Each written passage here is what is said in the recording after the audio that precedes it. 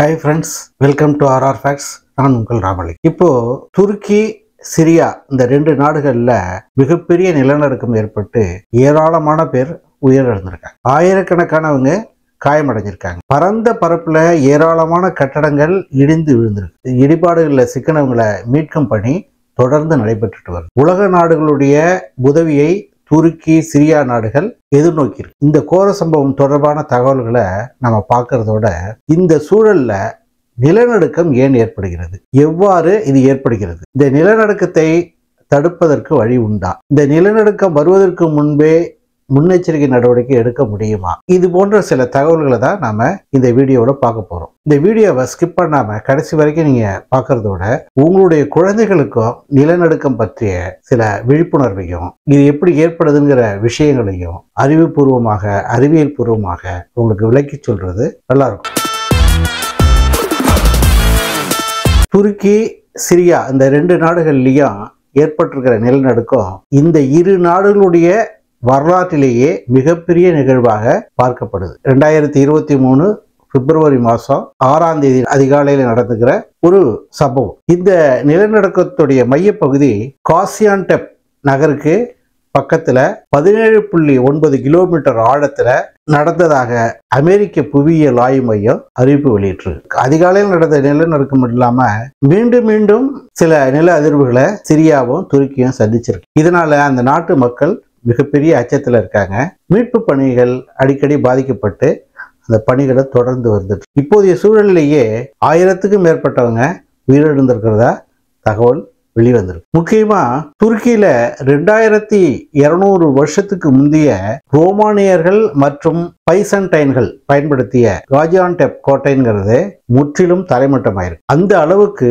இந்த நில அதிர்வு பெரிய பாதிப்பை இரு நாடுகள்லையும் ஏற்படுத்தியிருக்கு. இந்த நிலநடுக்கம் இஸ்ரேல் லெபனான் இந்த ரெண்டு நாடுகள்லையும் உணரப்பட்டதாக சொல்றாங்க. இந்தியா உள்பட பல்வேறு நாடுகள் இந்த இரு நாடுகளுக்கும் உதவிகரமும் நீட்ட தொடங்கியிருக்காங்க. வாங்க இப்ப நிலநடுக்கம்னா என்ன அது எப்படி ஏற்படுகிறது எதனால் ஏற்படுகிறதுங்கிற ஒரு அடிப்படை விஷயத்த பார்க்கலாம். முதல்ல இந்த நிலநடுக்கத்துக்கு முன்னாடி பூமியோட தன்மையை நம்ம அறிஞ்சுக்கணும். பூமியுடைய விட்டம் வந்து பன்னெண்டாயிரத்து எழுநூத்தி நாற்பத்தெட்டு கிலோமீட்டர் ஆனா இது ஒரே திடப்பொருளாக இல்ல. நான்கு அடுக்குகளை கொண்டதாக தான் இது அமைஞ்சிருக்குது. இந்த நான்கு அடுக்குகளை எப்படி பி- பிரிக்கிறாங்கன்னா இன்னர் கோர் சென்ட்ரல் இருக்கிற ஒரு பாயிண்ட் இருக்கு இல்லையா? அது வந்து இன்னர் கோர் அப்படிங்கிறது. அதுக்கு அடுத்தது அவுட்டர் கோர் அதுக்கு மேல இருக்கிறது அவுட்டர் கோர்னு பேர். அதற்கு மேல இருக்கிறது மேண்டில் லேயர் அப்படின்னு சொல்றாங்க. அது வந்து வெளிப்புற அடுக்கு அப்படின்னு தமிழ்ல சொல்லலாம். அதுக்கு அடுத்தது கிரஸ்ட் எனப்படும் மேலூர். நாம வசிக்கிற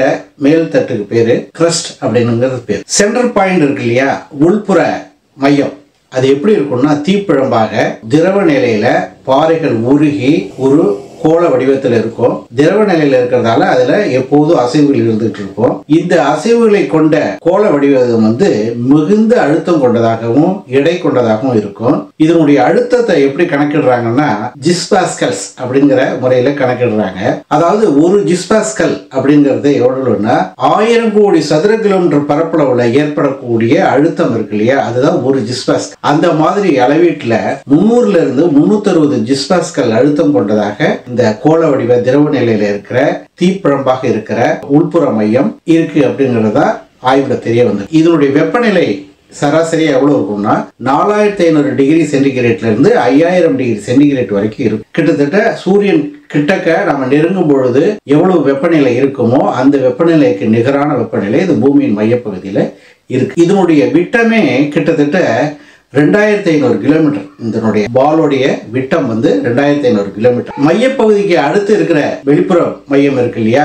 அதனுடைய விட்டம் அவுட்டர் கோர் அதனுடைய விட்டம் வந்து கிட்டத்தட்ட நாலாயிரத்தி நானூறு கிலோமீட்டர். அதனுடைய வெப்ப அளவும் கிட்டத்தட்ட அந்த உட்புற மையத்தில் என்ன வெப்பநிலை இருக்கோ அதே வெப்பநிலையை கொண்டதாக இது இருக்கு. நாலாயிரத்தி ஐநூறு முதல் ஐயாயிரம் டிகிரி சென்டிகிரேட் வரைக்கும் அந்த வெப்பநிலை இருக்கு. இதுக்கு அடுத்து இருக்கிற லேயருக்கு பேரு செமி சாலிட் ஸ்டேட்ல இருக்கும். அதாவது திரவ நிலையிலையும் இல்லாம திட நிலையிலையும் இல்லாத ஒரு ஒரு அமைப்பாக இருக்கும். இந்த லேயர் தான் வெளிப்புற அடுக்கு அப்படின்னு சொல்றாங்க. இந்த வெளிப்புற அடுக்கு கிட்டத்தட்ட பத்தொன்பது பெரிய பாறைகளால ஆனது சின்னதும் பெரிதுமான ஒரு பத்தொன்பது பெரிய வடிவிலான பாறைகள் அடங்கியது தான் இந்த இந்த பாறைகள் வந்து நகரும் தன்மை கொண்டது. இந்த பாறைகளுடைய விட்டம் வந்து ஐயாயிரத்தி எழுநூறு கிலோமீட்டர் இந்த பகுதி பூமியுடைய மொத்த உருவத்துல எண்பத்தி நாலு சதவீத பகுதியை இந்த அவுட்டர் கோர் ஆக்கிரமிச்சு. அதுக்கு மேல இருக்கிற லேயர் தான் நாம வசிக்கிற பகுதி. அதுக்கு வந்து கிரஸ்ட் அப்படிங்கிற பேரு. இதனுடைய திக்னஸ் வந்து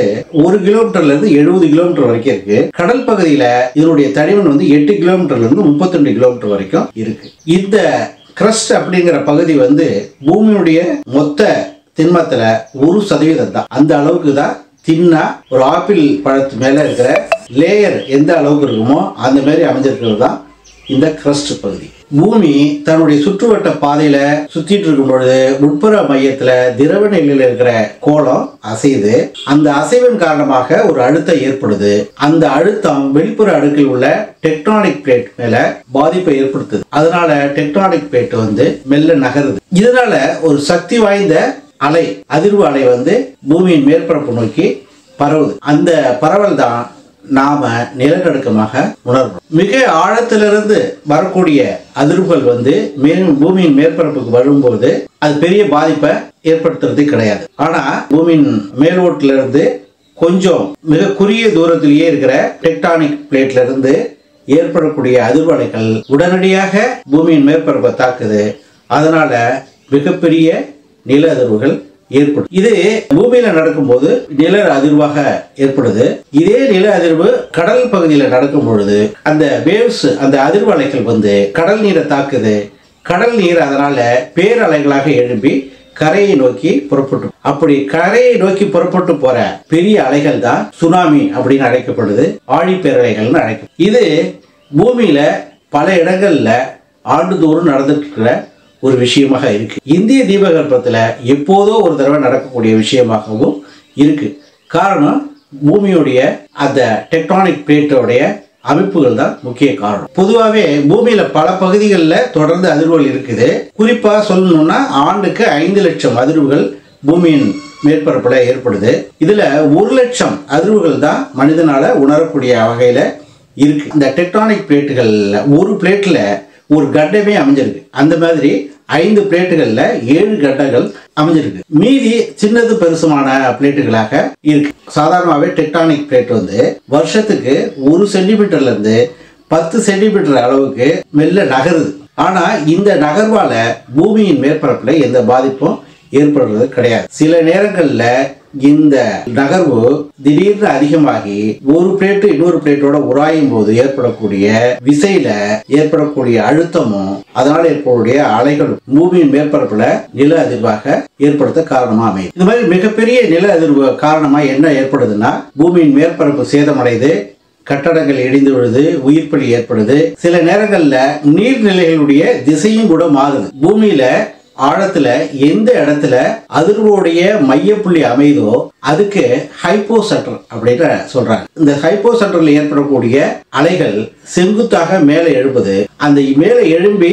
மேற்பரப்புல முடிகிற இடம் வந்து எபி சென்டர் அப்படின்னு சொல்றாங்க. நிலநடுக்கத்துடைய அளவை கண்டறியறதுக்கு இப்ப பயன்படுத்தக்கூடிய கருவியோட பேர் சிஸ்மோகிராஃப் அப்படின்னு பேர். இந்த கருவியில் இருக்கிற ஊசி போன்ற முனை என்ன பண்ணுதுன்னா வேகமாக அதை அதிர்வுக்கு ஏற்ப நகரும். சீஸ்மோகிராஃபால ஒரு ரிக்டர் ஸ்கேலுக்கு கீழே ஏற்படக்கூடிய நில அதிர்வை துல்லியமா பதிவு பண்ண முடியாது. ஆனா அதே நேரத்துல அதற்கு மேல் உள்ள நில அதிர்வுகளை அது துல்லியமா பதிவு பண்ணக்கூடிய சக்தி வாய்ந்ததாக இருக்கு.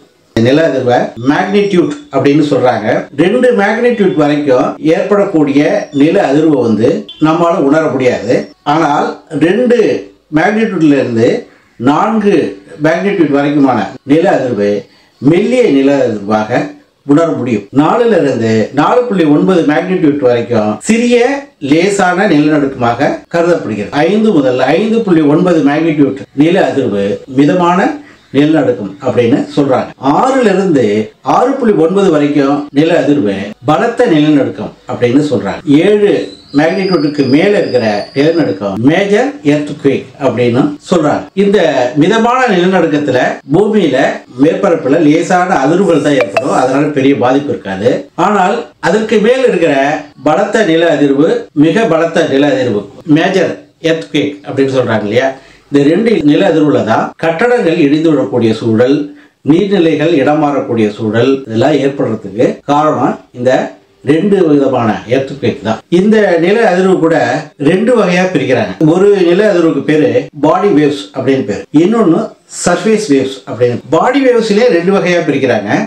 ஒன்று முதல்ல ஏற்படக்கூடிய வேவ்ஸ் வந்து பிரைமரி வேவ்ஸ். அதுக்கு அடுத்தது ஏற்படக்கூடியது செகண்டரி வேவ்ஸ் அப்படிங்கிறது பிரிக்கப்படுது. அதே போல சர்ஃபேஸ் வேவ்ஸும் ரெண்டு வகையா பிரிக்க முதல்ல வரக்கூடிய வேவ்ஸ் ரேலே அப்படின்னு சொல்றாங்க. ரெண்டாவது அதை தொடர்ந்து வரக்கூடிய வேவ்ஸ் வந்து லவ் வேவ்ஸ் அப்படிங்கிற இந்த பாடி வேவ்ஸ்ல தான் அதிகமான சேதத்தை மேற்பரப்புல ஏற்படுத்துது. சாலைகள் இரண்டு துண்டா போறது கட்டுமானங்கள் இடிந்து விழுறது பாலங்கள் இடிந்து விழுறது இந்த போல சம்பவங்கள்லாம் ஏற்படுறது பாடி வேவ்ஸ் காரணமாக தான் ஏன்னா இது அதிகமான வைப்ரேஷனை கொடுக்கறதால அதிக சேதத்தை உயிர் சேதத்தெல்லாம் ஏற்படுத்தும். நிலநடுக்கத்துக்கு ஒரு வரையறையே கிடையாது. எவ்வளவு ரிக்டர் அளவுக்கு மேலே இருக்கும் அப்படிங்கிறது ஒரு எல்லை நிர்ணயிக்கப்படல. மினிமம் இவ்வளோ இருக்குது மேக்சிமம் ஏழுக்கு மேலே எவ்வளவு வேண்டாலும் இருக்கலாம் அப்படிங்கிறது தான் கணக்கிடப்பட்டிருக்கு. சமீபத்திய ஆண்டுகளில் ஏற்பட்ட நிலநடுக்கங்கள் ஓரளவுக்கு துல்லியமாக பதிவு செய்யப்பட்டு வருது. இந்த வகையில் ஆயிரத்தி தொள்ளாயிரத்தி அறுபதுல சிலி நாட்டில் நடந்த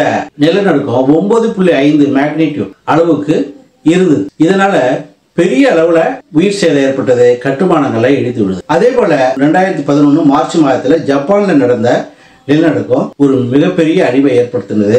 அந்த நிலநடுக்கத்துடைய ரிக்டர் அளவு வந்து ஒன்பது மேக்னிடியூட்டா இருக்கு